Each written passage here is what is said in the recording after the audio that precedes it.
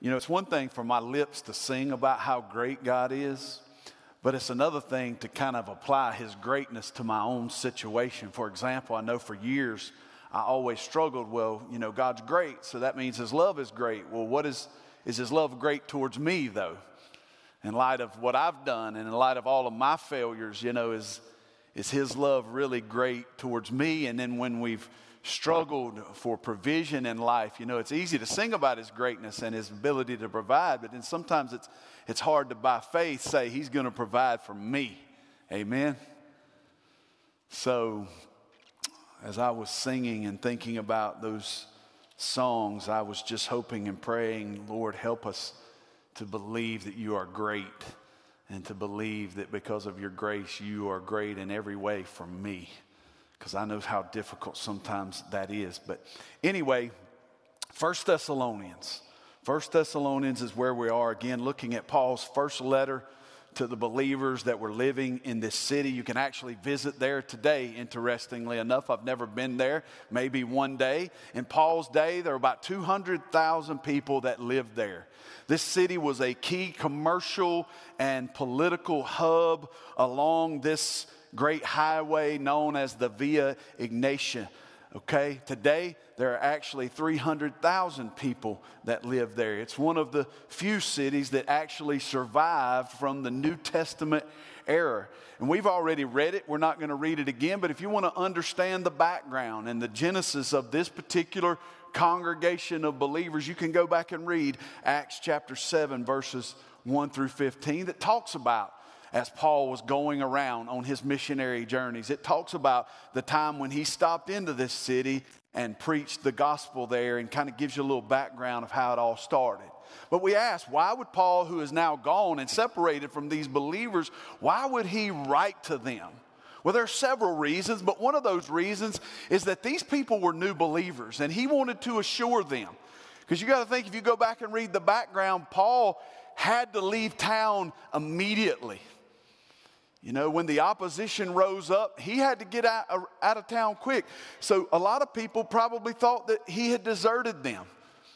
Paul's enemies, the opposition was attacking him and his character. And so Paul wanted to write them and assure him of his love and assure them uh, of, of who he truly was and to remind them of the kind of man and the kind of people that they were when they were among them. So he wanted to assure them of several things, but he also wanted for these new believers to be grounded in the truth.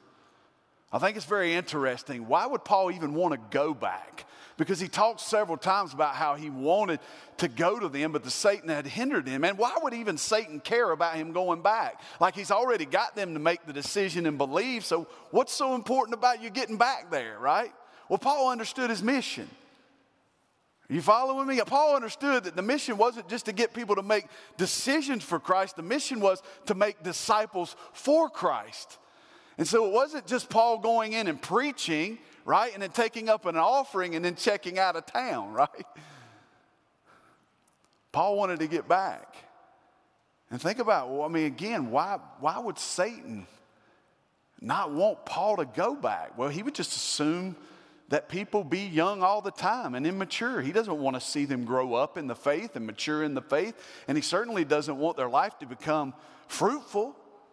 He doesn't want them to now turn around and be a blessing for others. So he wrote to them because he wanted them grounded in the truth. He wanted to see them mature and be fruitful in their walk and in their witness. And he knew that they were suffering.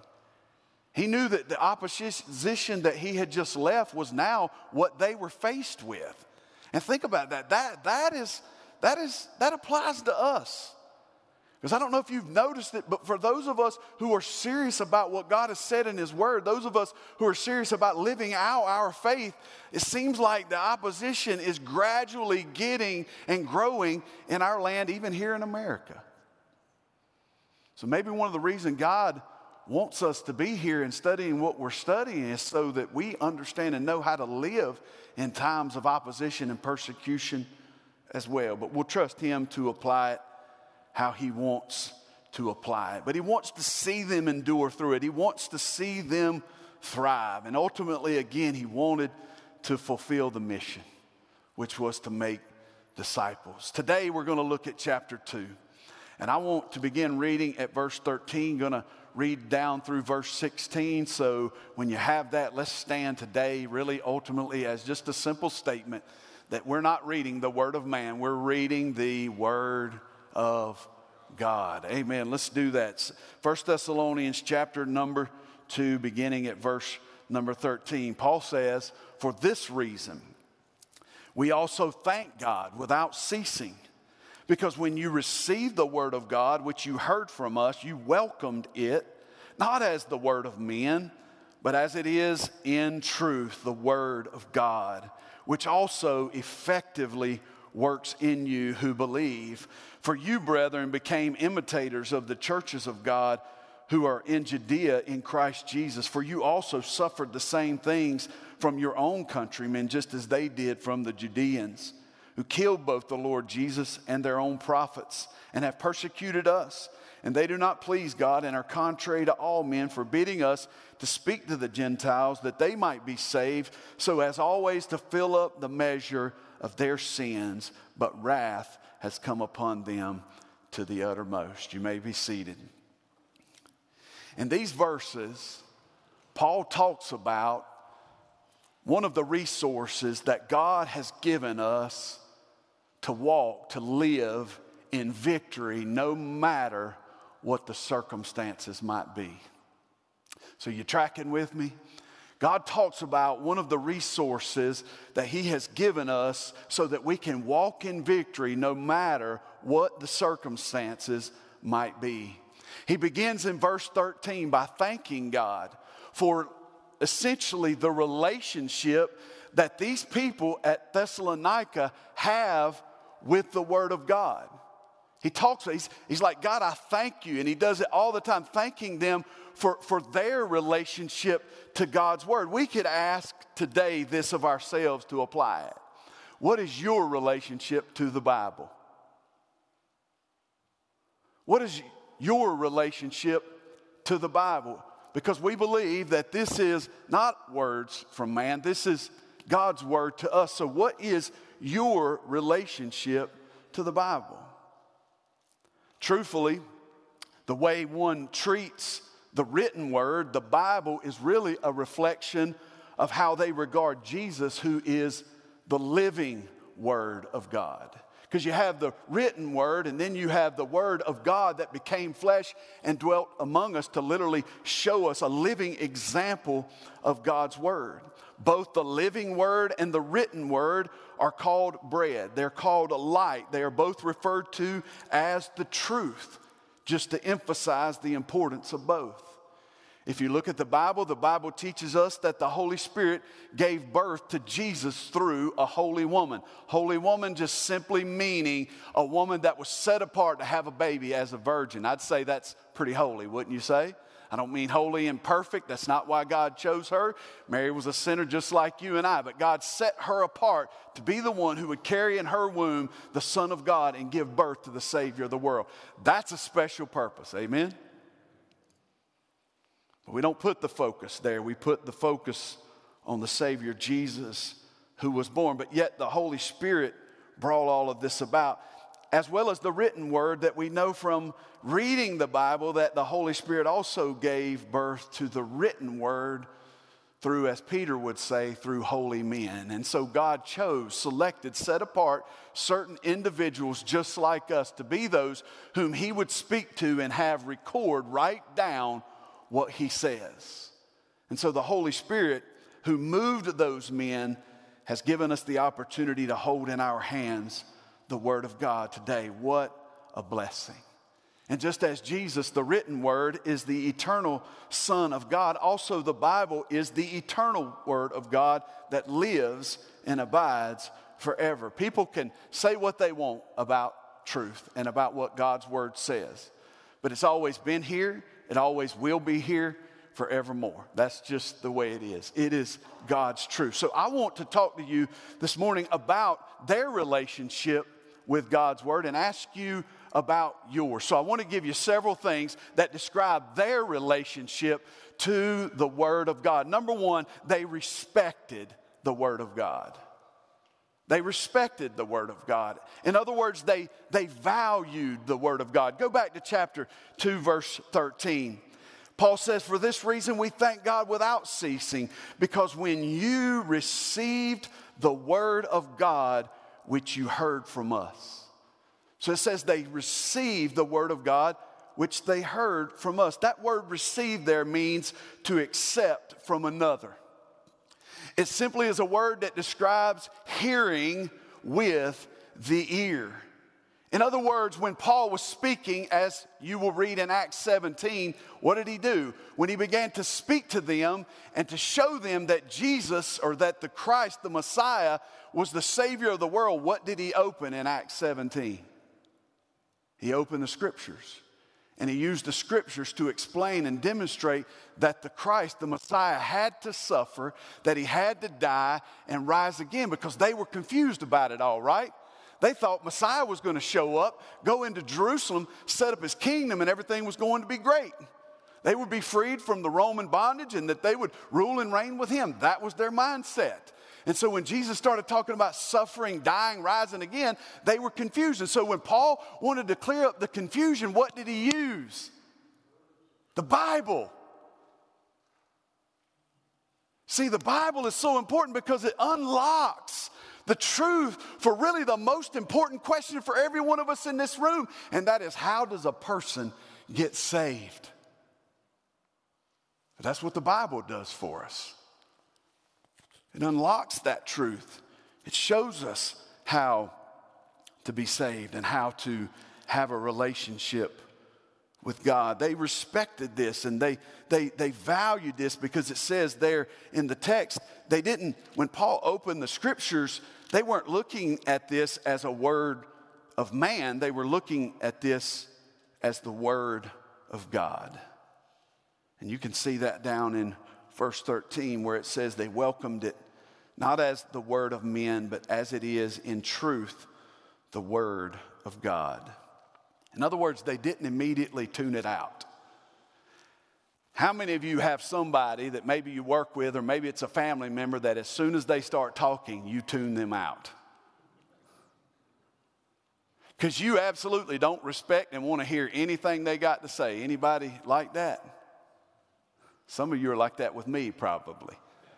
I still wonder why you keep showing up and wasting your time every week. I'm joking with you. But it means they didn't immediately turn them, turn them, tune them out. Others did. Because immediately when Paul started describing the Messiah as something that didn't match up with what the Messiah was in their mind, they didn't want to hear what he had to say. In, es- in essence, they didn't want to hear what God had to say. During my time in college, I can't tell you how many times I heard somebody say this Come on, Matt, don't you know that the Bible is just another book? I mean, I can still literally see their faces. I, I, told the students this morning, one day I was at, when I was at State, I was, I was writing uh, on a piece of paper in my notes. Somebody had asked a question. I wasn't really interested in their question or what the professor had to say about it. So I was kind of over here doodling. And so there were a couple of verses that I was memorizing. And so I said, well, I'll take a moment just to write them out in my notes, just to kind of think about it, right? So as I'm doing that, I had a friend who elbowed me and he looked at me and said, dude, what are you doing? And I just kind of went on about my business. But after it was all over with, he came up to me and he said, Man, don't you know that the Bible is just a normal book? Don't you know that the Bible is nothing but just man's opinion of what they believe happened and took place and what they think about God? And I'll never forget that, but I heard that over and over and over. It's funny to me, and I've seen this in 20 years. And you take kids that grow up in church and they've been taught this, and all of a sudden they go to college and they get woke all of a sudden, and now I become the enemy. And now every single person that believes in the Bible and talks about God, now you are the enemy because now they have got with all the smart people of the world and they have figured it all out.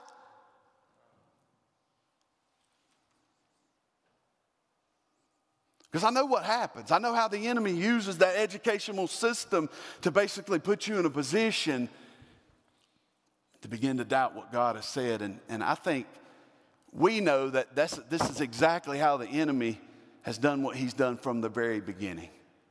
With that age old question Did God really say?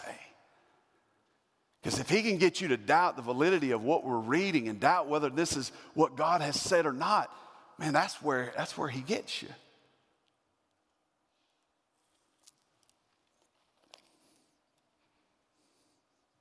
You can choose to believe that if you want to. You can say, oh, it's just another book. But that's not true because anybody, and I've done it for 20 years, anybody who's willing to actually read it and actually study it will find very quickly that God's fingerprints are all over it. It's a miracle book. I mean, just the fact that God would say something a thousand years before it ever would happen, and then the fact that it would come about, not just like in a general way so that we would know it was connected, but we're talking about like in a very specific way exactly how God said it would happen.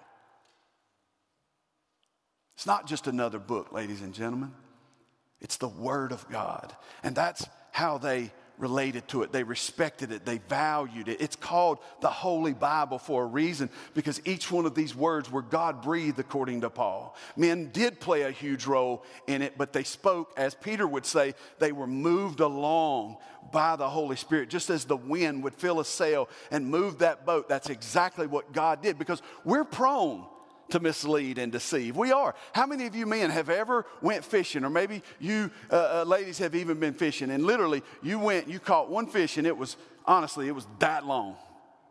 But you got back and somebody said, Hey, did you catch anything? And you said, Oh, oh yeah, man, we caught. Well, how big was it? And then it went from this to this. Right? It wasn't this, it was really this. Right? So that's that's who we are. So it's like, well, how could we trust the Bible if man, man had his hand in it, right? Here's how you trust the Bible because the whole time God had man in his hand. That's how you trust it. That's how you trust it. David says God's word is holy, it's pure, it's perfect. David says it's more to be desired than, than gold. I know your job is important. I know money's important for, for living and these things, but, but David is saying that, like, what God says is more important than all the riches of the world. Because what God says is life, just like the disciples. Jesus started teaching, he started about drinking blood and eating flesh. Well, that, he didn't mean that literally. Everybody kind of took it literally, like, man, I'm out of here. I don't want anything to do with this. And so his disciples were just sitting there, and Jesus said, Well, are y'all going to leave too? And you remember what they said? Remember what they said? They said, We can't because you have the words of life. The words of life. So that's why it's more to be desired than all the riches of the world. It's more to be desired as Job would say in Job 23 12, more than food. More than my daily nourishment, man, I need the word of God. Jesus said, Man shall not live by bread alone, but by every word that proceeds from the mouth of God. The word is referred to as milk and honey, it's, or excuse me, as milk and meat. It's also called honey in the Bible. Spiritually, for our spirit man, it's our nourishment. So, what is your relationship with the Word of God? Do you respect it? Do you, do you value it? Because you see, if you and I want to stand in victory through all of life's circumstances, if we want to maintain a joy through all of life's circumstances, then we must respect and value this book above all things. I'm not calling you to worship the Bible. We worship Jesus, the written word, but we understand this is a way that God primarily speaks to us so you understand the importance of that relationship. As a matter of fact, how are you even going to get to know God apart from reading His Word, where He has told us who He is and how He operates? I want you to think just with me for a moment of how precious it is that God has spoken. One of the guys in our Sunday school class this morning just kind of posed the question could you imagine life with no Bible at all? No Bible. No truth. Imagine the confusion. Everybody just spouting out what they think and what they think is right. But we do have the Word. I don't have to be confused. I don't have to live in the dark. I remember the time of my life when I could not even get settled on whether or not I was saved or whether or not I was even a child of God. I was, I was struggling with that. And it seemed like the more people I would ask, the more confused I got. And so I'll never forget one day I went back to my apartment. I got on my knees and I said, God, there is no way that you want me to wander around in this world or live in this life wondering whether you're my father or not. Listen, there's not a day that's gone by that I've ever doubted whether Ray Rummage is my father or not. Not one day. Not one day. Nor has he ever told me to do something that I said, well, I'm going to do this because I got to be Ray Rummage's son. Not one time has that ever happened. Because I know that. I'm like, God, if I know who my earthly daddy is, surely you want me to know who my heavenly daddy is, right? But the more I asked people, the more confused I got. So I finally had to make a decision. My decision was okay, God, I'm going to ask you. What a great idea, Matt. Now, I'm not being critical of you, but for some of you, that would be a huge step for you to just make that transition of, you know what, God, I'm just going to ask you what you think. And I'm going to open this book and I'm going to read it until I get the answer and the peace that I need. And two months later, that happened for me. One of the greatest days of my life when God clarified that truth for me. And I can honestly tell you, and God is my witness, I, I, haven't, I haven't lived a single day since then in doubt of who my Heavenly Father is. And when I say that, that blows people away because they're like, man, you know, but I understand it's God's gift. It's not something I'm working for, striving for, trying to earn. It's God's gift to me.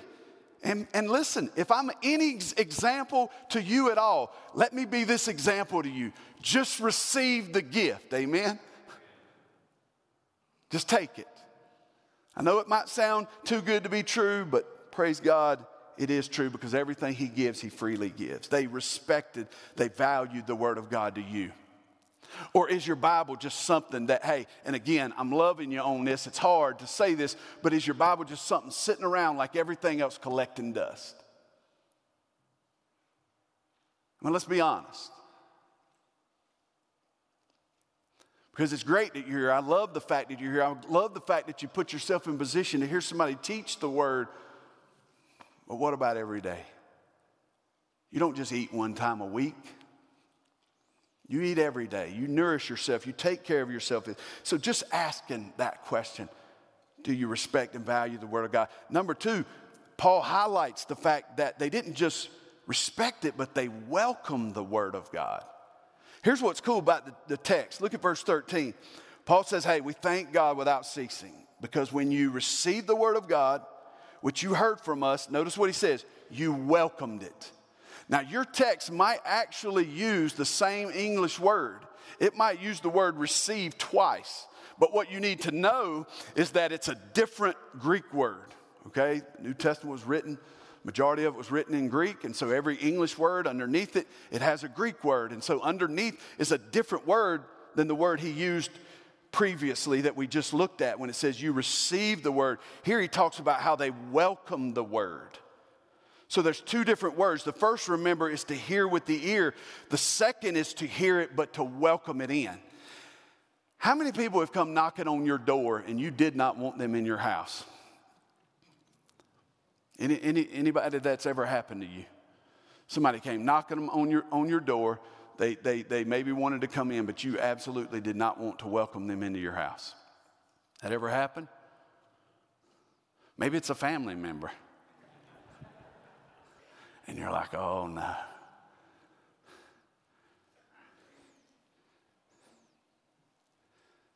But they welcomed it. So, so here's what you're seeing is like they didn't just immediately tune Paul out because Paul opened the book, he preached to them the word of God, right? So they didn't immediately tune him out because they understood it was a word of God, not the word of man. So they actually heard what he had to say. But then once they heard what he had to say, guess what they did? Because the word was going. That's what the word was doing. The Holy Spirit knocking on their heart. But they didn't just shut it out of their mind. What did they do? They opened the door and they welcomed the word of God now down into their heart. That's what they did. But how many of us, when it comes to our relationship with the word, we hear it, but yet we don't like it or it's inconvenient and we're just like, eh. You don't even go to the door. You don't answer the door because you know that if you welcome what God says in you, it's going to change your life. You may have to lose some friends. Things might get a little uncomfortable if you get serious about walking with God.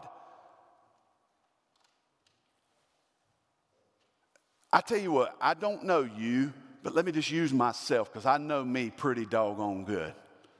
And there have been many times when I knew God's word and God's spirit were knocking on the door of my heart, but I absolutely refused to open the door. Whether it was because I liked my sin and I was enjoying my sin at the time, or whether it was just gonna be inconvenient or it was gonna make me uncomfortable, whatever the reason was, I'm just being transparent. There have been many times when I've said, I'm not going to the door.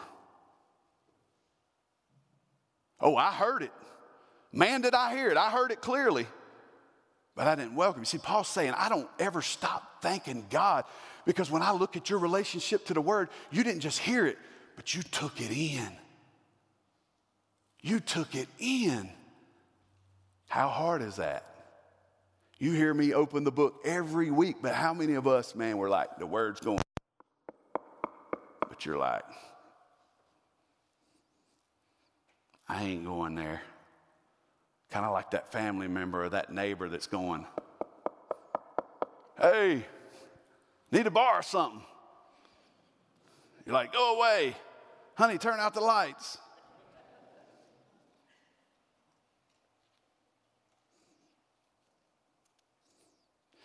What I came to realize is that's really what repentance is all about. Because repentance, what the New Testament word means is to change your mind. And so repentance happens when you know or, or when you're confronted with God's truth and you know that you're not believing that truth, but yet you make the decision to say, okay, God, what I'm believing is not right. I'm going to now start believing and think the way you want me. That's repentance. That's repentance. And see, that's the beauty of how your relationship with God starts. It's when you recognize, I can't, I can't do this. I cannot save myself. I can't hold on to this lie that, you know what, when I die, I just hope that I've been a good enough person. That's the lie. And so for me, I had to get rid of the lie and accept the truth that what God gives, He freely gives, and that Jesus, through His life, death, burial, and resurrection, completely paid for me to have a relationship with Him. So I had to get rid of the lie, I had to accept the truth. Listen, this is where compassion comes out. I understand that for some of us, when we get confronted with the truth, man, that it's difficult because we start thinking, oh my goodness, I may have to do this, I may have to do this, I may actually have to say I'm sorry, or I may actually have to get out of a bad relationship, or I may have to, uh, you know, maybe just realize I shouldn't do this. I've got to walk with God.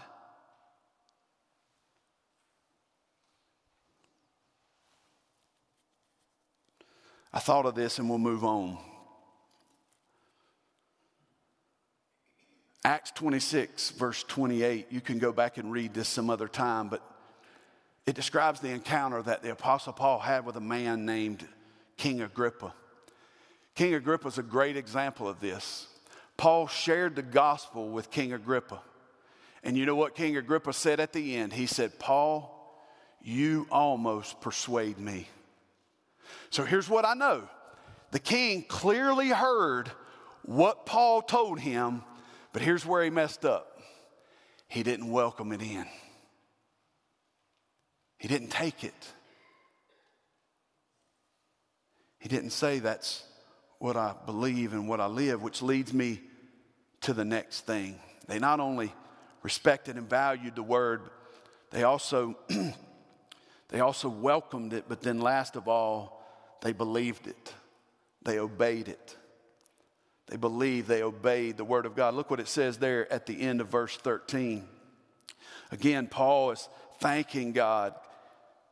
without ceasing, because when they received the word of God, which you heard from us, you welcomed it not as the word of men, but as it is in truth the word of God. And notice the last phrase, which also effectively works in you who believe. So, what you got to establish here is what's effectively working. It's the word, it's the word of God. And so, here's the beautiful part about this the phrase, who what at the end? What's the last two words? Who believe. So, who does the Word of God effectively work in? It's those who believe it. Right? It's what it says. So, is the Word of God ever going to work inside and, and transform the life of one who hears it but never welcomes it? No. Is it going to transform the life of one who will never ever go to the door, who just tunes it out immediately, like, there goes that guy again opening that Bible. Don't he understand that the Bible's just another book? Don't he understand that it's just what man wrote and it's what man thinks? I mean, is that person ever going to be transformed? No. But the reality is, for those who hear it, those who welcome it and believe it, like actually obey it, the Bible says that the Word of God releases a powerful energy in their lives. You see, when we believe what God says, He releases this power, this energy that works in our lives to fulfill His purpose in us and through us. One of the great examples of this is Luke chapter 17. And if you want to, you can turn there with me. And we're about to shut her down here, but I want you to see this illustration from Luke chapter 17 verse 11. It's about 10 lepers. I talked about this midweek on Wednesday night. So just listen to the story. It happened as he, Jesus, went to Jerusalem that he passed through the midst of Samaria and Galilee. Then, as he entered a certain village, there met him 10 men who were lepers. But they stood afar off. They lifted up their voices and they said, Jesus, Master, have mercy on us. So when he saw them, he said to them, Go show yourselves to the priest. Now, what's interesting about that is that that was what a leper was supposed to do once he was already clean. That was what he was supposed to do when he was already clean. But Jesus gave a clear word go show yourself to the, to the priest. Now, notice what it says right after that. And so it was that as they went, that what happened? They were cleansed. You, do you see what happened? Jesus spoke very clearly go show yourself to the priest. They wanted help. Oh, please be mercy. Go show yourself to the priest. Well, Jesus, uh, wasn't that what we were supposed to do when we go back Leviticus and, and, and when we were already clean? Like, come on now. Let's, let's deal with this and then we'll deal with this. Let's don't get the ox before the, or the cart before the ox, however that saying goes.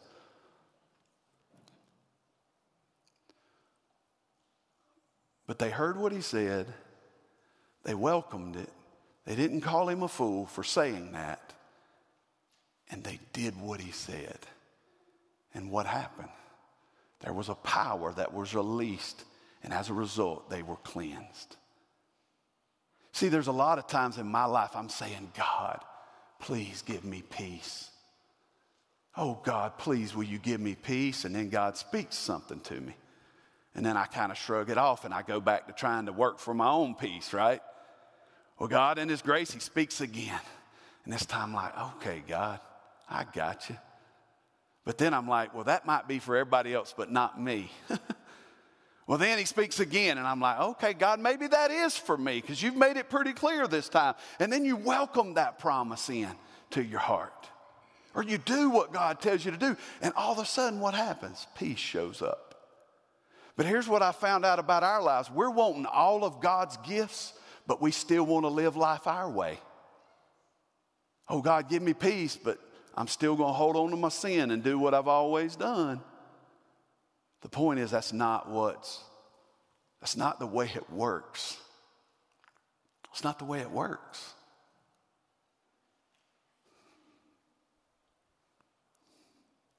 And I love John 11, and you can go home or you can go online to hear the study from Wednesday. But in the context of that is Lazarus' death.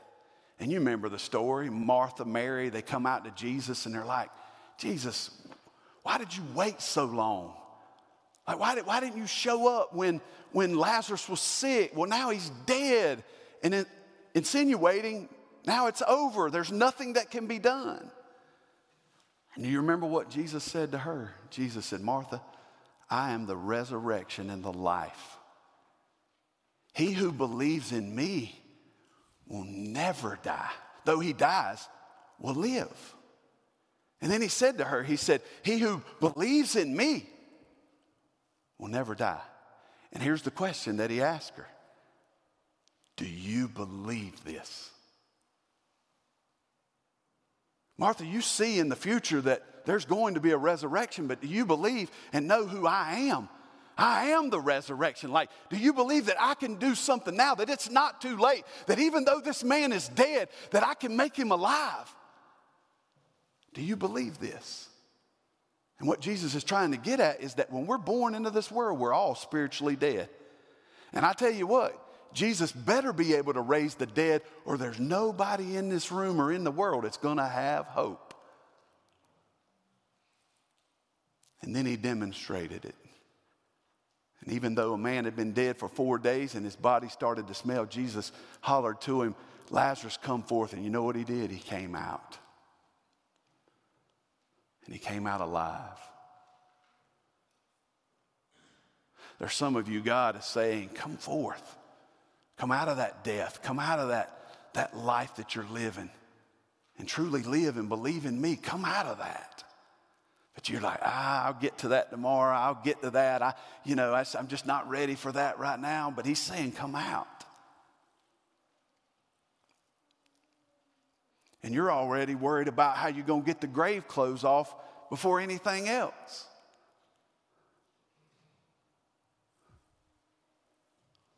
But they believed. And as they believed what God said, there was a power, there was an energy. The Word of God effectively works in you who believe. So the question to all of us is do you believe what God is saying? Do you believe what he said about Jesus' death, burial, and resurrection? Do you believe it was enough to put you in a right relationship with God? Do you believe God's promises that he's never going to allow the righteous to be begging for bread? Do you believe it? Do you believe that He's the same yesterday, today, and forever? Do you believe that He will never leave you nor forsake you? Do you believe that? Do you believe that His grace is always sufficient? Do you believe these things? That, that's really the question. So I found that for really for all of us, you know what we're really struggling with? We're struggling with faith.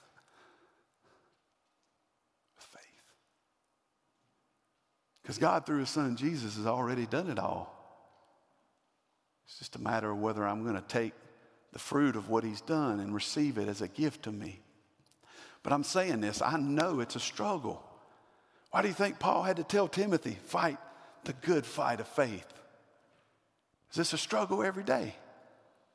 Satan doesn't want you to believe because faith is where the victory is.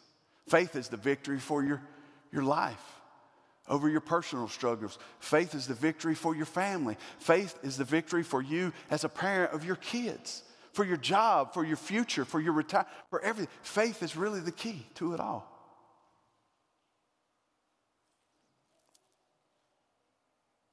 So, what about you? We've just read about the relationship that the church at Thessalonica had with the Word, but what about you? Do you respect it? Do you value the Word of God, or is it just kind of sitting over there like something else collecting dust? When you hear it, do you welcome it in? Do you receive it? And last of all, are we walking in it? Are we believing it and doing what God is telling us to do?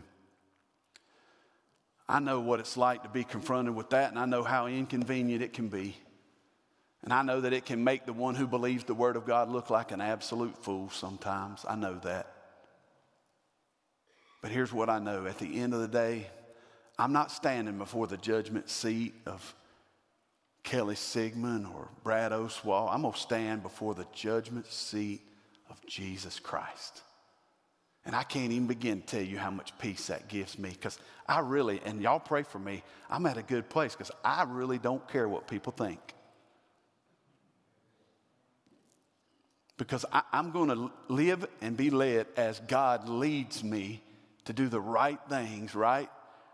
Regardless of what the world has to say about it. Because I just know when it comes to the end that that person is not going to be the one there judging me and determining what I did was right or whether it was wrong. And no, I'm not perfect. Thank God for those of you that have been gracious to me, because none of us are.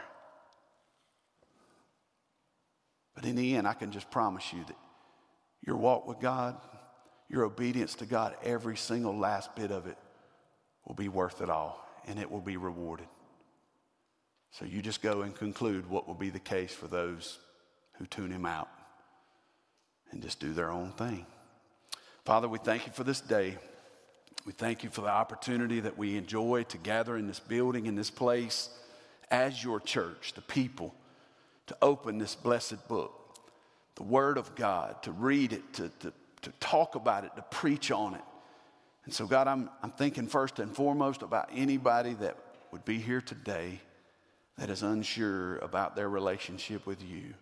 I'm praying that the truth of their sin and their need for the Savior Jesus, the one who came, who lived, who suffered, who died, was buried, and rose again, the one who ascended with the promise that he's coming back, that they would come to the realization that Jesus is that Savior, that they would transfer their faith from themselves to believe in Christ and Christ alone and to know that it is a free gift. I pray that even now they're praying and they're crying out and they're receiving that wonderful gift of salvation, that relationship with you.